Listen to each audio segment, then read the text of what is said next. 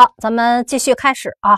好，下面呢，我们来看一下第三个，我给大家挑的是这三个税：契税、耕地占用税，还有车辆购置税。这三个税啊，那么大家看出来这三个税的最大特点是什么？为什么把这三个税放在一起？它的最主要特点一定注意这俩字。这三个税，它主要的纳税人啊是承受了土地呀、房屋啊，还有车辆啊，承受了权属的单位和个人。这话理解吗？你看最典型的买房子吧，当您家买了房子了，房产证不就落在您名下吗？您得到了房子的所有权。耕地占用税呢？您把这耕地征上来了，不就变成您企业，您就拥有了使用权，只不过不是所有权。但您拿到使用证书了，买了车了情况下呢，您一定拿到机动车的产权证，产权证上一定是您的名字。所以你发现这三个税的最大特点是，纳税人一定让谁交，谁得到了这三个房子和车地它的产权，谁承受了这个产权的，谁来交。看出来了吗？所以这个税的主要特点是这么一个特点啊。所以谁拿到了这个不动产或者是车的产权的权属，承受的这一方谁来交这个税啊？如果说呢，我虽然买了车了，但是呢前脚买了车根本就没落在我名下，转手又卖了，你不缴车辆购置税。当然了，具体我们在讲税的时候，还是有一些特殊情况的。你比如说契税，它跟车购税不一样地方在哪？它跟耕地占用税也不一样。契税的最大特点是什么？它可以是多次，它不是一次性的征，就针对这个房子，针对这个地，不是说征过一次就完了。谁你这房子流转一次，他就会交一次。啊，我我第一次从开发商那儿买房子，所以我要交契税。我交了住了两年了，我把这个房子又卖给下家，下家买了房子，他还得要交税，就跟买车不一样了。买车的特点是我先从汽车厂 4S 店买了车，所以我对这个车要交了车购税，落在我名下了。等我把这车开了两年又卖给下家，下家已经买的叫二手车了，就不用再交车购税了。为什么？因为车购税的特点是只征一次，是一次性征收，征一次就完了。就是在第一次落户承受产权时候对产权人交，以后不可以再交了。契税可不行，契税是多次承受一次就交一次，只要你承受了房屋权属就得交。包括耕地占用税也是一样，只一次性的征收，就是第一次。把耕地征上来，改变耕地用途，就这一次交，后面就不可以再交了。所以呢，尽管这三个税的特点呢都是对承受的这一方交，但是还是有所区别的。好，总之这个税的特点啊是这样的。然后再来看所得税，所得税呢是两个，甭管是企税还是个人所得税，原理是一样。它首先都要把纳税人分成居民和什么？非居民非常重要，知道吗？首先，学税法的学员要清楚，在所得税当中，它一定要分。你要是企业，它分你居民企业，你还是非居民企业；要是个人所得税里，它也要分你是居民个人还是非居民个人。所以，这个对于所得税为什么这么重要？它区分的意义是在于什么？是在于对于不同的纳税人，他的纳税义务是不同的。如果被你被判定为是居民纳税人，甭管企业个人，你所承担的是无限纳税义务。什么叫无限？来自于境内的收入、境外的所得都应该负有纳税义务。它是境内、境外所得都征你税。但如果认定为你是非居民身份的话，这个时候正常情况。没有特殊的话，它仅对是承担的是有限纳税义务。有限什么意思？它仅就你在我境内所得来征税，境外它征不着你。所以，由于他们承担的纳税义务不同，所以他们的区分身份也不同。所以在所得税当中，有点类似于跟增值税一样，它首先也要被纳比对纳税人进行身份的划分。他首先必须看你的身份是居民还是非居民，从而才能够决定对你哪赚来的钱来征税。所以它意义在这儿。然后呢，我们具体学的时候要知道，不管是企税还是个人所得税，他们的划分标准是什么？由于一个是企业，一个是个人，显然划分的标准是不一样的。企业在划分的时候，标准一是首先看你的登记注册地是在哪。你只要注册地是在中国境内，肯定是居民纳税人。为什么？因为视为是中资企业。或者第二个标准，注意是实际管理机构所在地，中间用的是“或”字。“或”字明白什么意思吗？这两个地只要有一个地，只要有一个地是在中国境内，你就属于居民纳税人。你要么注册地是在境内，你要么就是实际的管理机构在境内。你只要有一个满足在境内，OK，你就是居民纳税人。如果这是两个地都在境外的，记住了，那肯定是非居民。所以大家看出来了，划分企业所得税居民非居民是两个标准，两个标准是或的关系。不仅知道或。解释的是哪个，无论哪一个在境内都是居民，同时还要知道这两个标准一定是递进的关系。这个递进理解是什么？只要先看第一个标准，第一个标准只要发现它是境内的，就不看第二个标准了。必须是第一个标准看完了，注册地在境外，才看第二个标准，才看管理机构。所以，尽管它这两个标准是或的关系，但实际上在用的时候，它是递进的关系。当第一个标准就具备了，就不看第二个标准了。只有在第一个标准不具备的情况下，才看第二个标准，知道吗？是这样的一个递进关系。但是咱们理解非常简单，居民企业划分标准就是什么？就是要么你注册地在境内了。要么你实际管理机构在境内的，只要有一个是在境内，你就是居民企业；都在境外的，那就是非居民，对不对？好，再来看个人所得税呢，就变了。它毕竟是个个人，所以它的标准是住所跟什么？跟居住的时间，他就不可能看注册地的问题了，对不对？第一个是要看你在中国有没有住所。而且这两个标准告诉大家也是递进的关系，先看有没有住所。如果第一个有住所，这个标准已经具备了，就不看第二个居住时间了。所以，当有住所的情况下，直接就判定是居民了；当没有住所的情况下，才看第二个标准居住时间。所以解释完了，大家就明白，看你这纳税人在中国有没有住满一百八十三天以上，一定前提建立在是对什么样的人，一定是在中国没有固定住所的这些外国人。他要是在中国有习惯性的固定住所的，实际上相当于他是中国人，所以他肯定是居民。那些在中国没有固定住所来到中国的，看见了吗？他自己的主要住所是在国外，来到中国工作或者居住旅游，这时就要看他的居住时间了。他没有住满一百八十三天，他一定是非居民。但如果说他尽管没有住所，可是他住的时间很长了，他已经住满一百八十三天以上，他照样是居民纳税人。所以呢，在个人所得税中，概念一定要清楚的地方是在哪？有住所的就不看第二个标准了，没有住所的才看第二个标准，看居住时间。这回清楚了。好了，它也是递进的关系。好，这是呢在所得税当中它特色的地方，一定要首先看它是居民非居民。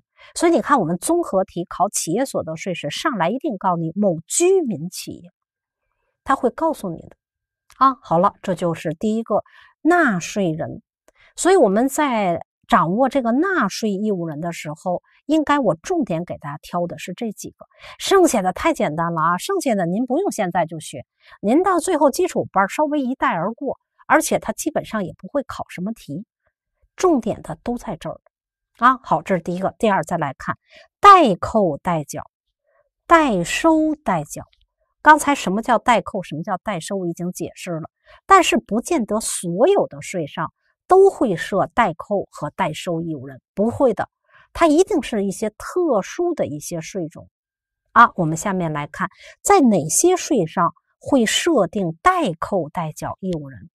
那我们下面来看，第一个会在增值税里出现，而增值税主要考计算题呀，所以大家一定要清楚，在什么情况下就不是纳税人自己交了。他就要实行支付价款的一方负有代扣义务。看好，适用在这是一个境外的单位，注意啊，是国外的单位，在哪儿？在我们境内发生了增值税的应税行为。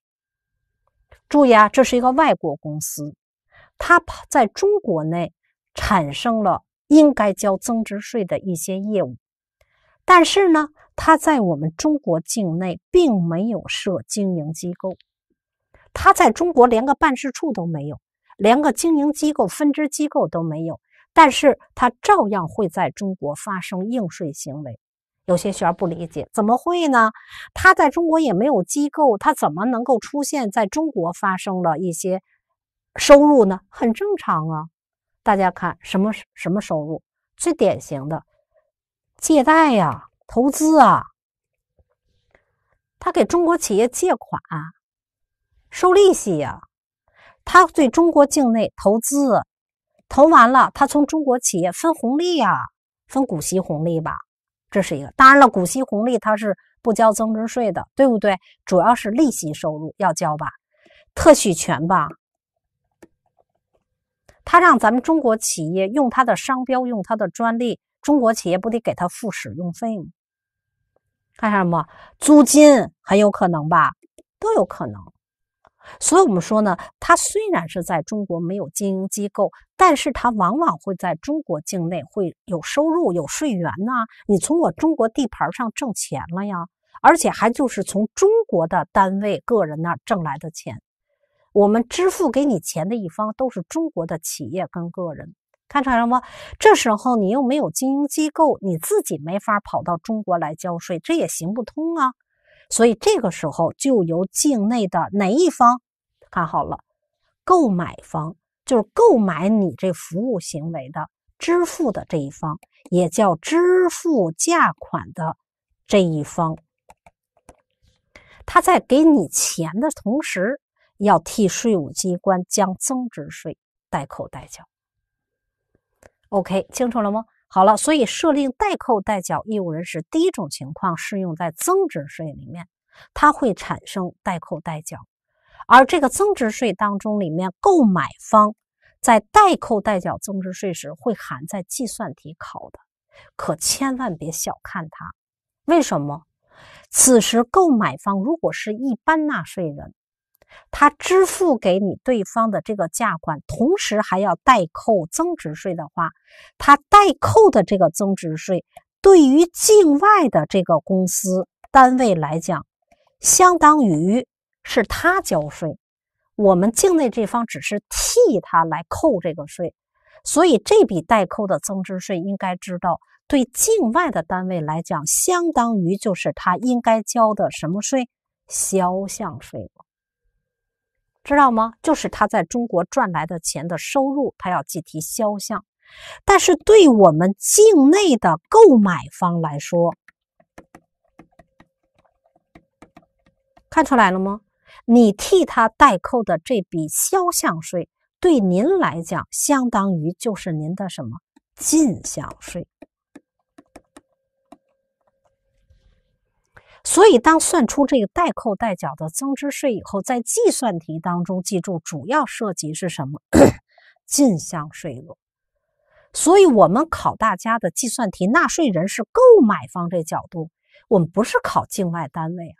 所以，作为购买方，您在核定您当期可抵的进项税额的时候，您替境外单位代扣的这笔增值税，您记住了，就是您属于可抵扣的进项税额。您要计算它，您要可以抵扣的，否则您就漏掉了。就跟什么？就跟您在国内买人家东西一样，您要是在国内买境内单位的，为什么很简单了？因为境内单位直接就给你开增值税专票了，他自己直接交税，不用你去代扣去。他交完了税，他就给你开票，你拿这张票呢，你就可以直接作为进项税抵。现在这一方不是跑到国外了吗？跑到国外的最大特点是什么？他没法自己直接来交税呀，所以你得先替他把这税扣了。同时呢，他交的那个税不就转嫁给你了吗？照样是变成您的进项税额，完全可以抵扣的，所以它就出现了代扣代缴的问题，好了吗？所以大家一定要清楚，这个代扣代缴的税，相当于就是您的购买方的进项税额。所以这个原理大家看完，对于初学税法的学学学员的来讲，你不要死背大些，你就想这个业务，我要是购买方，我采购东西。我采购的对象无非是两个，第一个是采购的对象是境内单位，我买他的东西，买他的服务，也有可能呢，我买的服务是境外的单位。最大的差别看出来了吗？我购买方如果购买的这个对象是境内的这个单位，这个是没有代扣问题，我也支付他多少一百万的价款。当我给他一百万的时候，一定要清楚，实际你给他的钱不是一百万，这个价值本身可能原材料是一百万，这个境内单位是自己自行纳税的。这个时候，境内的单位他卖给你这东西的时候，他是要自行给你开票的，开的还必须是什么票？专票。专票上往往写的是价是一百万。税是多少？十三万，百分之十三呢？所以它合计一共是多少？一百一十三万。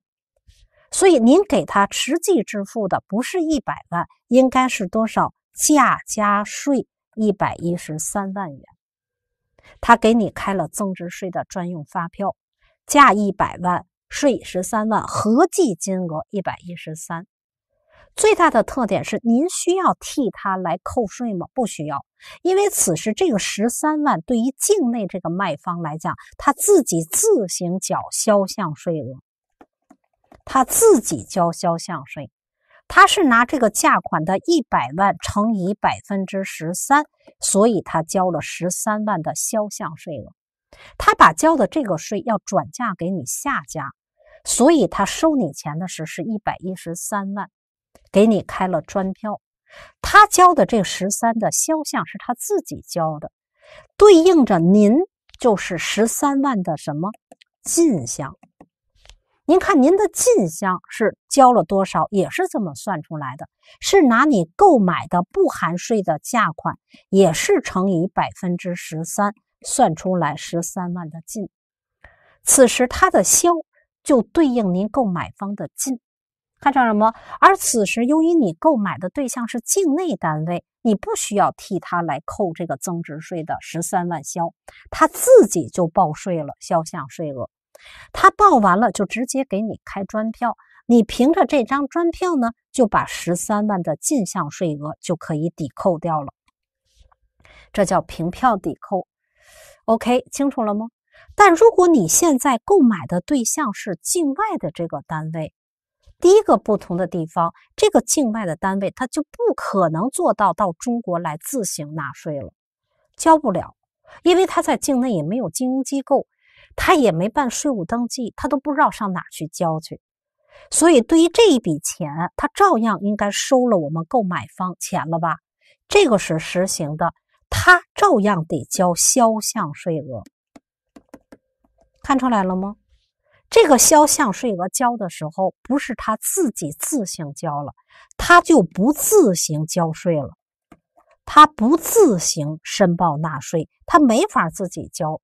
就转成了谁呢？由我们这个购买方，你来替税务机关代扣这笔销项税额，知道吗？替税务机关扣掉境外单位应该缴的销项，他自己交不了，所以你就负有代扣义务。你替他扣完了销项税额，交给了税务机关之后，实际他也把这销项税转嫁给你了。但是不同的地方在哪？境外的单位是给你开不了专票的，知道吗？这时候可能普票都开不出来，因为人家境外有些国家根本就没有发票，人家不是凭发票控税的，所以这个时候你买方就不是凭发票专票来抵扣了，这时他可能就给你开一个形式上的发票收据，签收一个收据。那按理来说你是没法抵扣的，所以这时购买方怎么办？你毕竟他也承担了销项税额了，他把交的销项税额也转嫁给你了，就变成您的进项了，知道吗？他得收您钱了。这时您的这个进项是也可以抵扣的，但是就不是凭着对方给你开专票，他开不了，开不了怎么办呢？您购买方必须，您不得替他代扣这笔销项了吗？你不得交到税务机关吗？所以这时候您就到你那所在的税务机关，税务局就可以给您开票了。开的叫缴款凭证，也叫完税凭证。您就可以凭着税务机关给您开的这张票，您就可以作为进项来抵扣了。它也是凭票抵。但是凭的不是增值税专票，凭的是税务局给你开的税收缴款书，你就可以抵。所以以后呢，大家学完这原理就明白了吧？哎，学东西不要去背它，想这业务怎么做的。你买的是境内单位的东西，你买的还是境外的？你买境内单位的的话，那么境内的单位它实行是自己报税。自行交销项税额，给你自直接开增值税专票，所以他把销项税就转嫁给你，你成为进项，你是可以抵。你要是购买境外单位服务就不是了。这个时候，第一个他自己不直接交销项，该交还是要交，但是这个销项是由您来代扣的。第二个呢，是他没法给您开专票，所以您得要拿着什么到税务机关开缴款书，这样作为您的进项才可以抵扣。所以他就有了代扣代缴的义务。你要是不代扣的情况下，这税款不就流失了吗？因为境外单位你直接给人付钱了，也没有把税给扣了，税款就流失了。所以在增值税当中里，它设定代扣代缴。这回清楚了吧？所以考在综合的计算题里面，这个代扣代缴的增值税，它要作为题当中的进项税额，它是可以抵扣的，别漏掉它。好了，这是第一个啊。第二个，大家看出来设代扣代缴的是在企业所得税。企业所得税是在什么情况下适用于呢？适用于的一定都是非非居民企业。这是首先大方向记住了，知道吗？就是注册地跟管理机构都不在境内，在境外，纯粹一个外国企业。不仅是非居民，还要进一步来说，什么情况？第一，在我们境内压根儿就没有设经营机构，没设立经营机构的，这是一种情况，就跟增值税一样了。你尽管没设经营机构，但是你猜我中国境内赚钱了吗？赚钱了。也得交企税，你有所得呀。或者第二种情况，你虽然设了机构了，但关键是你获得的这笔境内所得不是通过境内设的这个机构赚取的，跟你在设的机构境内机构没有关系。既然没有关系，就不是由这机构来交税了。这时候适用的都由支付价款的一方。代扣代缴企业所得税，所以在企税当中里面设代扣代缴的是适用在一必须是非居民，第二，适用在两种情况：一种是压根儿就没有机构赚取收入的；一种是虽然设了机构了，但是这个收入不是通过这个机构赚取的，都要由支付的一方代扣代缴企业所得税。所以看完了，大家看出来，实际上呢，就跟刚才这个代扣代缴增值税不就连起来了吗？我刚才举那例子，你那个境内的支付价款一方，除了要想着替境外的单位代扣增值税以外，还要想着这笔收入还应该交所得税呀。所以这时候在代扣完增值税，还要想着再代扣什么企业所得税，是一样的。OK，清楚了吗？所以这就是我刚才给大家举的那个什么。举的这个例子，比如说，我们是境内的北京一家公司，看好了，北京的一家公司啊，呃，反过来吧，别这么说了，倒过来，他举这个例子啊，他说这是一个首先非居民，非居民特点就是注册地跟管理机构都不在境内，比如美国公司，这是一家美国的主。注册地管理机构人都在美国啊，所以首先把它先认定为是一个什么非居民，知道吗？结果这个美国公司非居民呢，同样会在中国赚取收入的。他在我中国境内没有设分支机构，但是他也会照样跟中国的公司发生交易行为，比如就跟美北京的一家公司。就发生了一些应税行为，什么行为呢？大家看出来，给这个北京的公司提供了咨询服务，同样是一个未设机构的，在中国没有设机构的非居民，由于直接给北京的公司提供了咨询服务，所以呢，作为北京的公司就是支付价款的一方。你必须要按照合同支付给人一笔咨询费，所以按照合同约定就要支付咨询费。所以以后大家在做题的时候一定要看好了啊，他题里一定要交代清楚。题里交代清楚的同时，也告诫大家，以后我们跟境外公司签这种合同时，合同中的这笔咨询费一定要说清楚了，是含税的，还是什么不含税的？知道吗？得交代清楚了，因为这笔钱是是要交税的。在综合的计算题里面，他会明确告诉你，这笔这个应税行为是由境内支付方负有代扣代缴义务，知道吗？所以他得交代清楚，这个钱是含税的还是不含税的。如果他要交代清楚，他说这个咨询费里面是一个含税的，是由北京这一方负有代扣义务的，他得这样表述。知道吗？总共假设多少？一百万，他是这样出题的。他说合同里定好咨询费是一百万，这一百万当中，这个支付北京的这一方是含税的，负有还要需要扣去相应的税款，含着税款在里的，而含的这个税呢，是由北京的这家公司代扣义务。他负有代扣，他都给你交代清楚了啊！这样的话，这一百万就是一个含税的。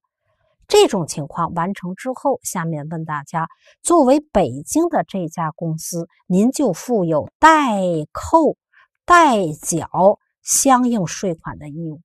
那都需要替代扣代缴哪些税呢？这就完整了。由于对方提供的是咨询服务，第一，属于不属于增值税的应税行为？属于，同时还要交什么？对方是个企业，所以还要代扣企业所得税，知道吗？所以这样的话，税就都出来了。出来之后，大家看一下，我们计算题就主要怎么考？这一百万，首先大家得要算出来应当代扣代缴的增值税。知道吗？这个代扣代缴增值税其实就是相当于销项税，其实说的就是销项税额。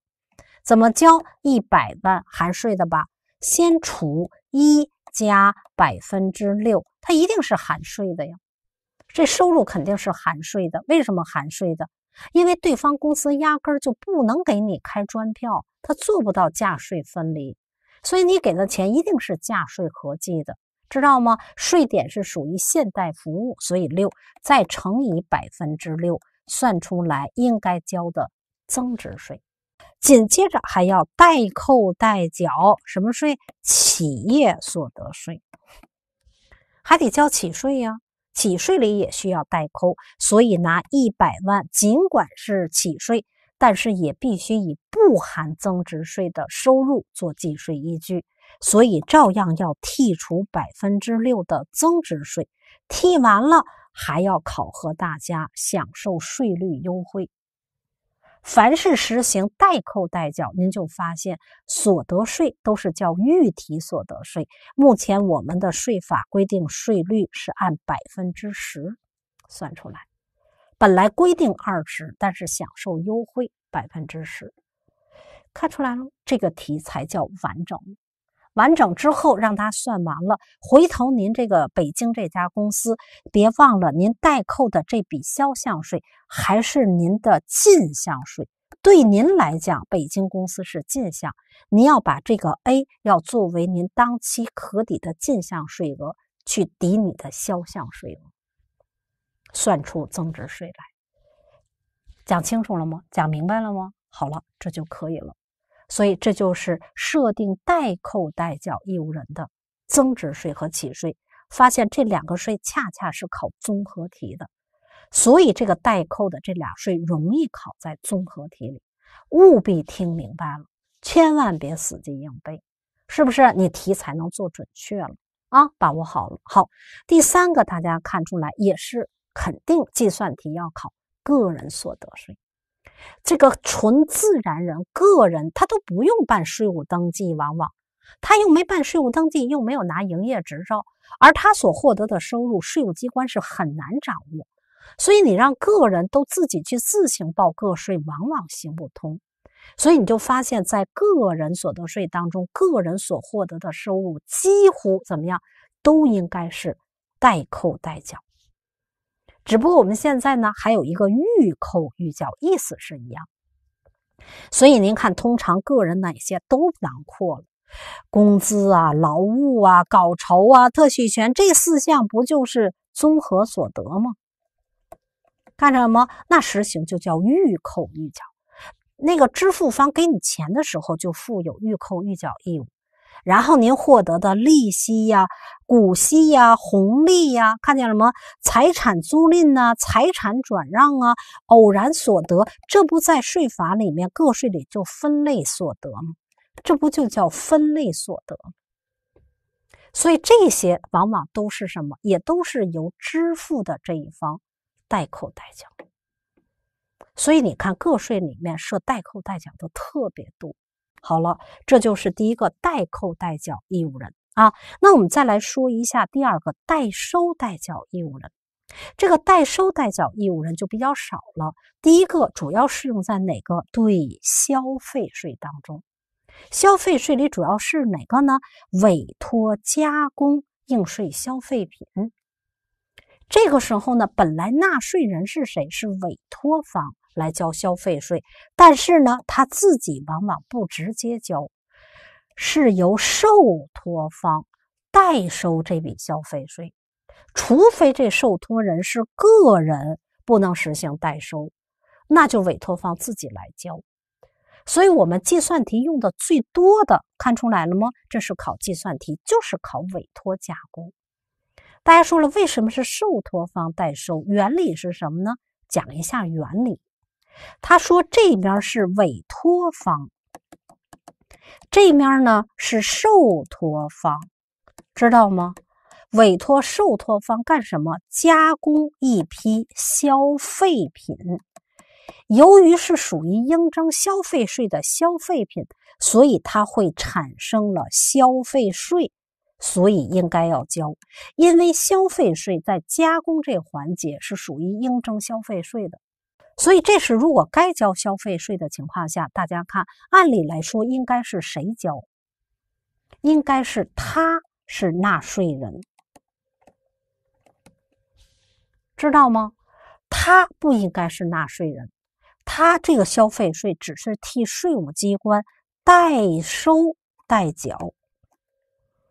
为什么是这样呢？说一下原理，是因为委托方究竟委托了谁加工了消费品，税务机关是不知道，也没法掌握，清楚了吗？只有谁最清楚？受托方，你给他干活啊，你清楚啊，清楚什么？你收他多少钱呢？你不能白给他干活啊！你给他提供了加工服务的话，你得向他收取什么加工费呀？知道吗？所以，由于你收他的钱，所以你自然应该知道什么？他应该是消费税的纳税人。他如果交消费税的情况下，税务局不知道啊。由于税务局不好控制这部分税源。所以，于是呢，就交给了受托方。你不是直接给他提供服务吗？所以就要求你在收他钱的时候，你不能忘了啊，你还得替我税务机关还要代收一笔什么消费税？为什么？因为你给他加工的是应征消费税的消费品，是要产生消费税纳税义务的。所以这种情况下，你不能让委托方来自己交，因为如果委托方拿回来之后，他要自己不去报税，税务局不知道啊，这税就流失了。于是，为了防止税源流失，所以受托方你最清楚，你清楚你给他加工的就是消费品，你清楚的是他应该交消费税，所以呢，你肯定要收他加工费。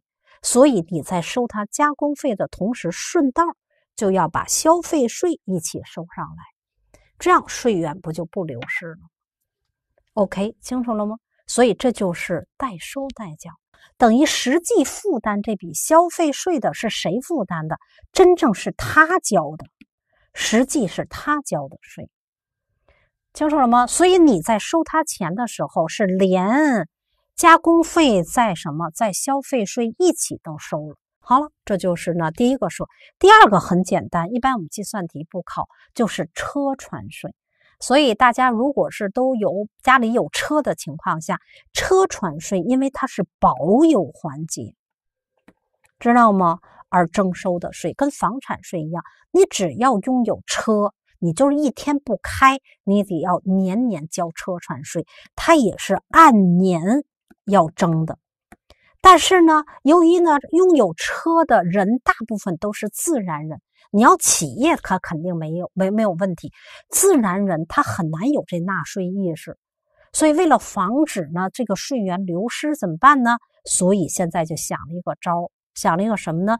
你这个拥有车的这个人是强制你必须要交强险的，就你这车必须强制你要上这个强险。至于说你什么商业险啊、盗抢险啊，你不上没关系，但是强制险必须上。由于你必须得要交强制险，所以你要跟保险公司就要打交道。所以你拥有车，年年就得要交强险，你不交，你这个年检过不去呀。这车每年都要做年检的呀。所以这个时候就出现什么呢？当你交给保险公司保险费的时候呢，他顺道他就代收了。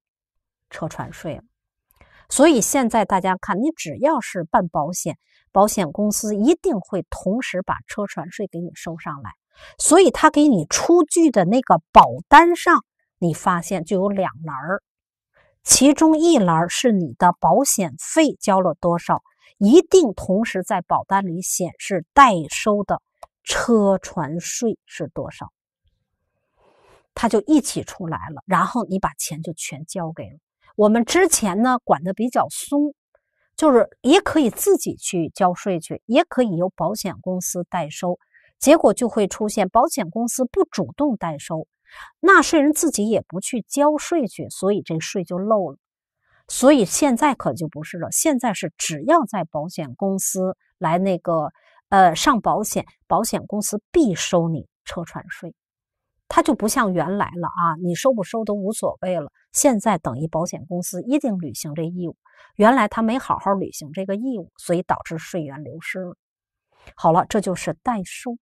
所以在纳税人当中里，不仅要清楚纳税人，还要清楚代收代缴、代扣代缴。但是这个设定代扣代收的，不是在所有的税里都适用。我们大部分的税还是要强调纳税人自己主动去交，只有在特殊情况下，他才会设定代扣代收。好了吗？好了，这个是希望大家一定要把握好了。这是呢，我们在呃基本概念当中里面，我们税法要学什么？就是学来自于税法的十一个构成要素，而每一个要素都有它侧重点，都有它特色的地方。所以希望大家把这些先听吃透了，先大概明白原理了。等到我们基础班自己开课的时候，你就展开详细来讲，那你就好理解、好接受了。不然的情况下就很难接受这些东西，就会出现听不懂这种情况，是不是这样的？好了，这就是我们 本节的重点。谢谢大家。